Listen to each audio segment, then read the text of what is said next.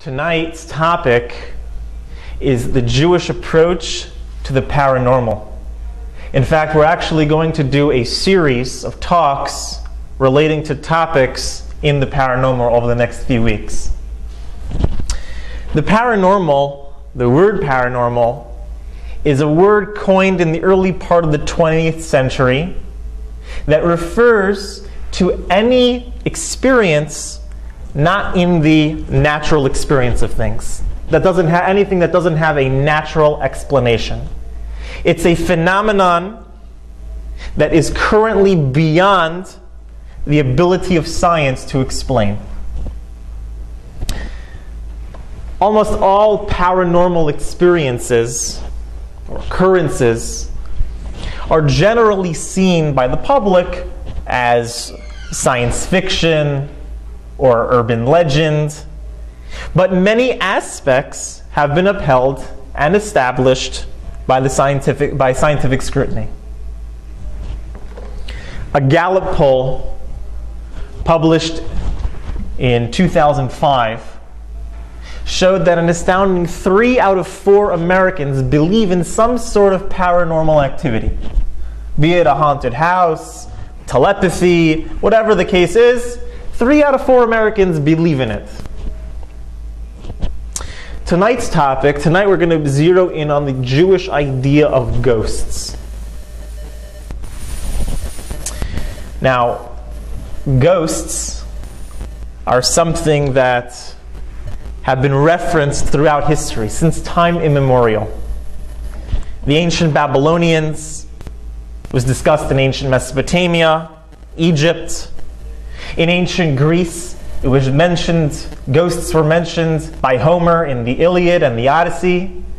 In the Roman times of later antiquity, we find references to ghosts all the way throughout history until we get to today. So, what's Judaism's view on ghosts? Do we believe in them? Do we believe, do, does our belief in ghosts, is it have any symmetry to the way that society thinks of ghosts. It's like white sheet people who make your curtain part and scare you. it seems kind of interesting also that you come to a synagogue and you're talking about ghosts. Feels like you know, kind of counterintuitive. Come to a synagogue, you talk about Judaism, you talk about you know things related to Jewish religion, Jewish thought, Jewish law. But ghosts, such a such a random topic, the paranormal, who would have thought? So ordinarily that might be the case.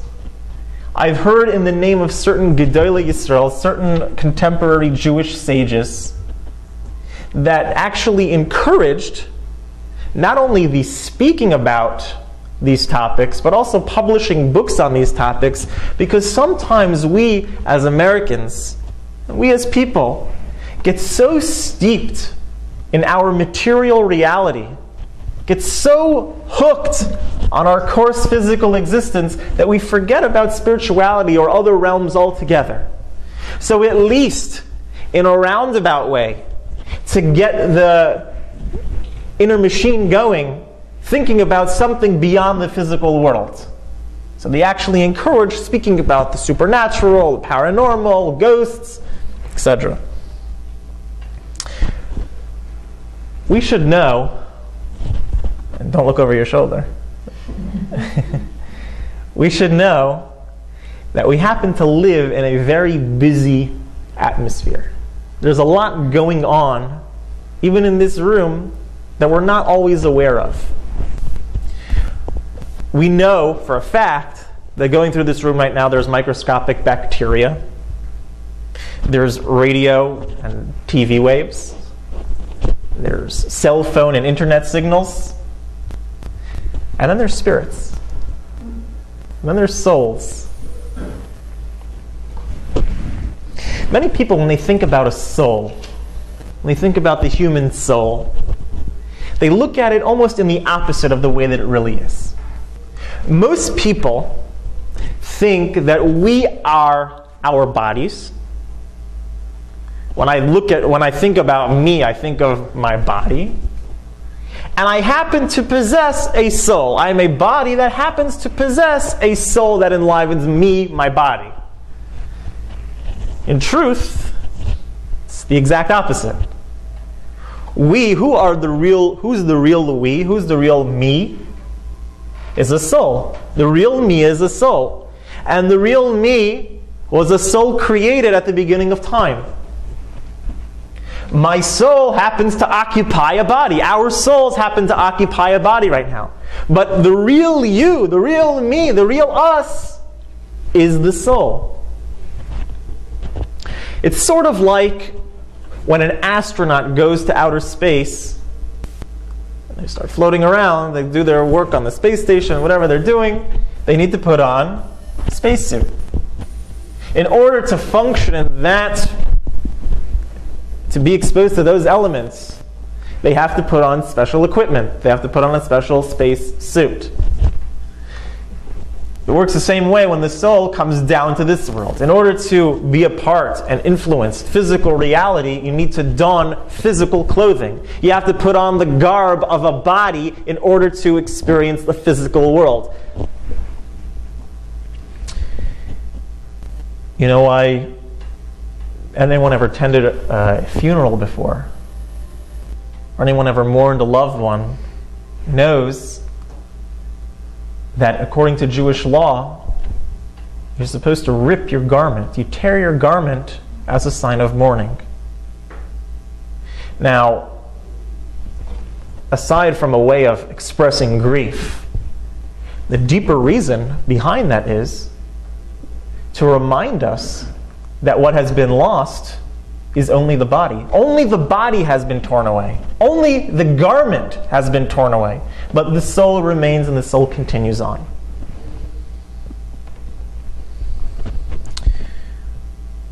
So when the soul leaves the body, it exists on a different plane.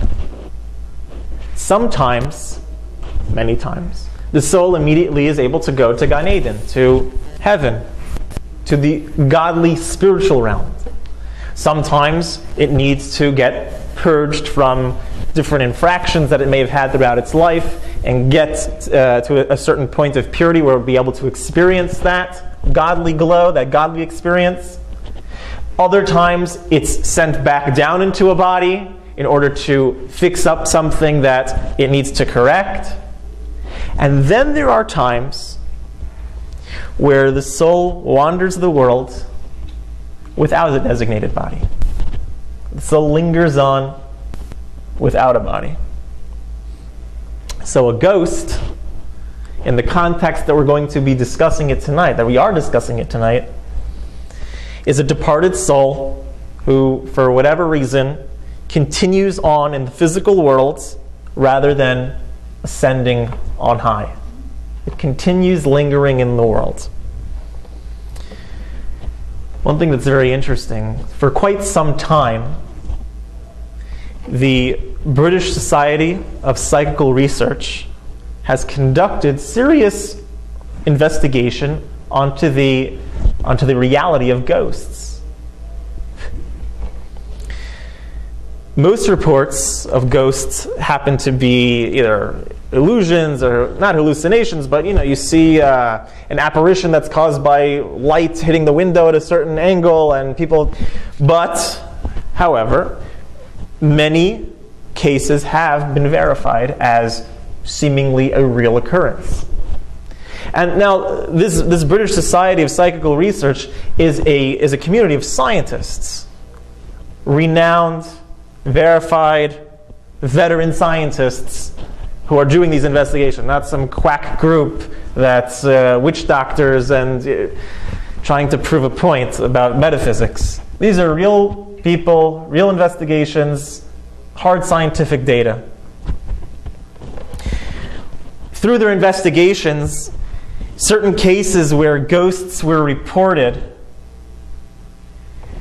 were that ghosts were result that ghosts were reported as the result of a certain sudden or tragic death of a person, for example. So the testimony of feeling something by many different people, a variety of people, all their stories and all their things that they perceived and experienced all matched up. These are, again, were in cases of, of people who had died suddenly or tragically. In one investigation, a dog, a cat, and a rattlesnake all reacted to a certain unoccupied chair in a supposedly haunted house in Kentucky. The extrasensory perception of animals we know is very great. Animals sense things that human beings don't, don't sense at all we often look at ourselves, and we should look at ourselves this way, as we are the crux, the height of existence. We are, we have, we're the, the top of the scale, human being. A human being is so high that he's able to, uh, given the right scenario, is able to even communicate and uplift the world, communicate with God through prophecy, if he, if he became such a degree. Animals can't become prophets, animals can't uplift the world. So we often look at ourselves as we are the the head honchos of the world, and we are. But when it comes to sensitivity of perception, using our senses to sense what's there, sometimes animals have a greater deal and have a greater capability than even us on a normal, on a normal opera- operation.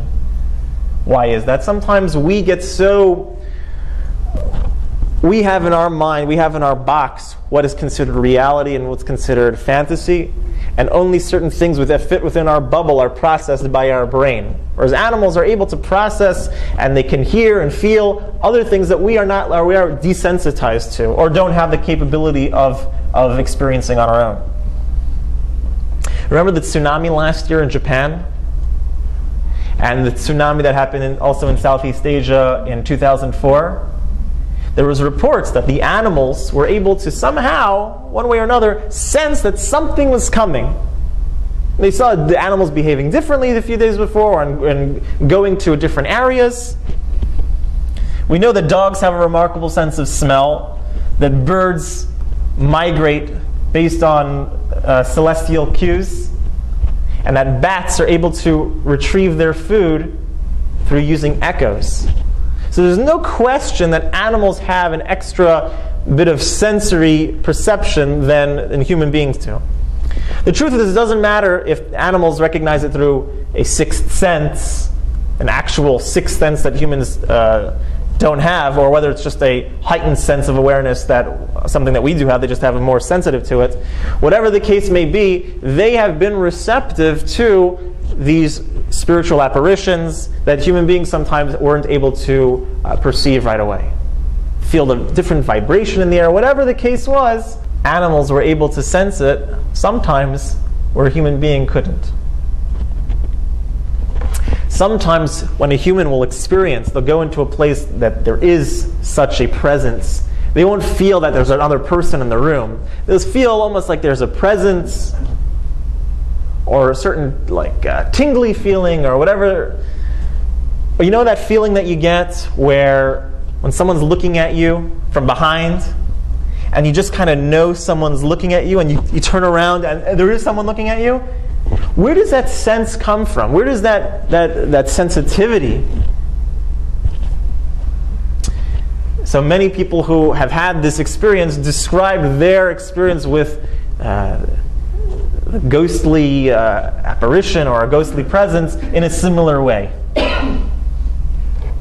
There seems to be validation in the writing of the Jewish mystics on some of the conclusions that this research team has made. There's works in Jewish literature that discuss, there is such an idea that a sudden or tragic death hurls the soul, at least for a temporary amount of time, into a continued existence in this world. The premature death, so to speak, causes the bodiless soul to continue occupancy in this world, where it lingers and tries to accomplish the mission that it hasn't yet accomplished. The mission it was set here for a certain mission. It, its life was cut off tragically and suddenly, and it continues to perpetuate that goal of which it was sent here for initially. There is such an idea. There's also reference to being without a body, living in this world as a certain form of punishment. A per- person comes down numerous times, numerous tries to correct different things, and after X amount of times aren't successful, that for a certain amount of time they have to go without a body. They're constantly pursued, but the physical forces, the, the spiritual forces that they're interacting with, help refine it and make it prepared to go enter the next world.